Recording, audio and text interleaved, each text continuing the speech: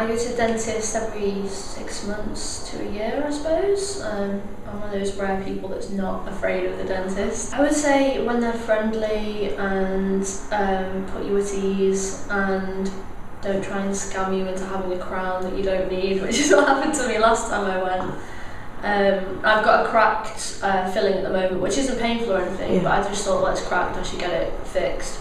Um, but rather than the patch job that I thought she'd do, she was like, no, you need a crown. And I was like, pretty sure I don't, and I'm no professional. So yeah, I haven't been back since then, which was probably three months ago.